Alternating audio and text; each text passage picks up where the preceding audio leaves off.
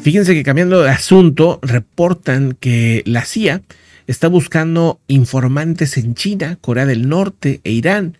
Esto está siendo reclutados vía online, incluso en su cuenta de Twitter. Han publicado la, pues sí, la información, la imagen, vamos a decir, de, de cuál es la forma correcta para eh, contactar a esa organización de inteligencia. O sea, llama mucho la atención porque pues ahí viene ya los datos, ¿no? Y cualquiera puede entrar. Eh, este, pues de, ahí está la publicación, por cierto, ¿no? En, en, la página oficial de la misma CIA, ¿no? Pues viene el link, viene la información para las instrucciones en diferentes lenguajes, en diferentes eh, idiomas, para eh, hacer una interacción o para pasar información a esa agrupación de inteligencia. La agencia de espionaje estadounidense publica instrucciones para los solicitantes interesados en chino, en farsi, en coreano y en otras redes sociales ha aparecido esto, ¿no? La Agencia Central de Inteligencia publicó el día de hoy miércoles videos instructivos también en varias plataformas de redes buscando reclutar informantes en diferentes puntos.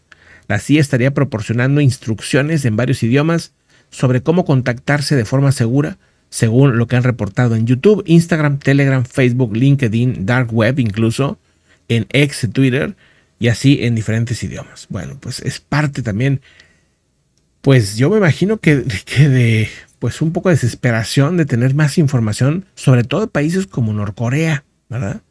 De ciertos países en los cuales es muy complicado de repente que les llegue información y se pues a ver si lo dejamos así público, a ver si alguien interesado pues pueda mandar información, no sé, no sé con qué intercambio ni nada, sea monetario, sea con algún otro tema, pero pues sí llama la atención este reporte. Y por cierto, hay una reacción contraria a lo que se había dicho de parte de Joe Biden.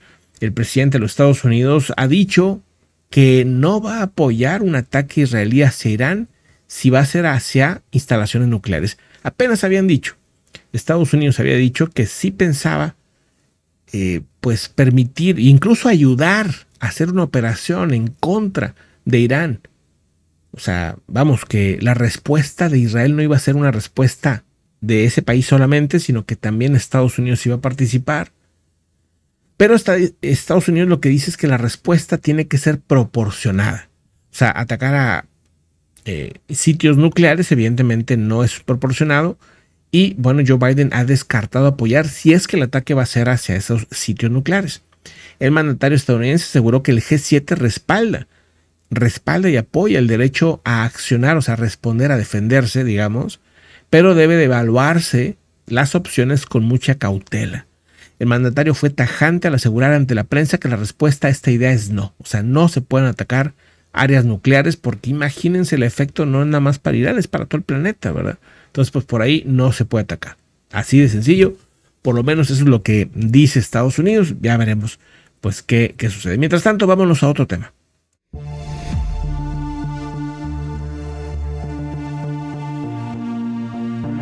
fíjense que se escucha esto allá en Rusia. Vamos a escuchar un poquito de estos sonidos.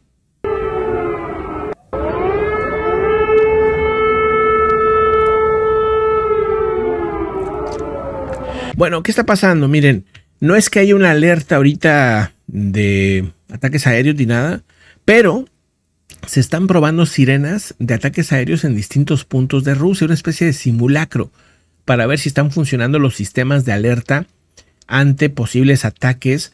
Y, bueno, pues esto también no sé si es para meter miedo a la gente allá o si es porque realmente están pensando que venga un conflicto armado o lo que sea. El punto es que en toda la Federación Rusa se están probando sirenas de ataques aéreos y esto obviamente pues puede ser una señal también muy negativa de, de un conflicto que pueda venir o simplemente generar miedo, ¿no? Que también de repente los gobiernos lo hacen, ¿verdad?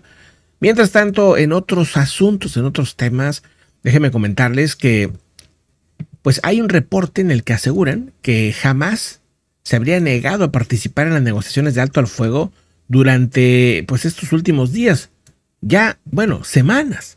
Según el Departamento de Estados Unidos, el Departamento de Estado de Estados Unidos, la organización terrorista de Hamas se niega a participar en las negociaciones para un acuerdo de un alto al fuego y liberación de los rehenes y ya tienen varias semanas en las que simplemente no se ponen de acuerdo, no hay eh, este, pues, comentarios de esta organización. Sí que ha quedado muy debilitada y que pues Yaya Sinwar básicamente no se sabe muy bien si está vivo o no. El jefe de, de Hamas no sabe ni siquiera si está vivo, no, o sea, creen que sí, pero no están seguros.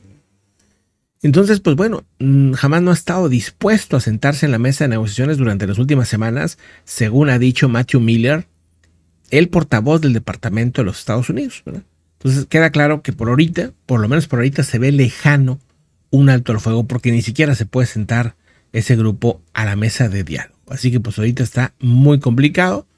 Y ante lo que está pasando ahorita, pues en Líbano yo creo que va a ser más difícil. O sea, obviamente eh, este, hay temor en que también caiga el, líder de Hamas, ¿verdad? Entonces, pues no, no se atreven a salir, obviamente. Otro asunto también importante que llama la atención el día de hoy es, pues, esta, pues, este movimiento que hace un desertor norcoreano. Fíjense, escuchen bien. O sea, era alguien que ya vivía en Corea del Sur, que había desertado de Corea del Norte, había escapado de Corea del Norte y se roba un autobús para intentar regresar a Corea del Norte. O sea, es una locura, pero de repente están tan, pues ya lavados del cerebro desde, desde tanto tiempo que luego de repente no saben adaptarse a, a otra vida, ¿verdad? Distinta a lo que ya tenían.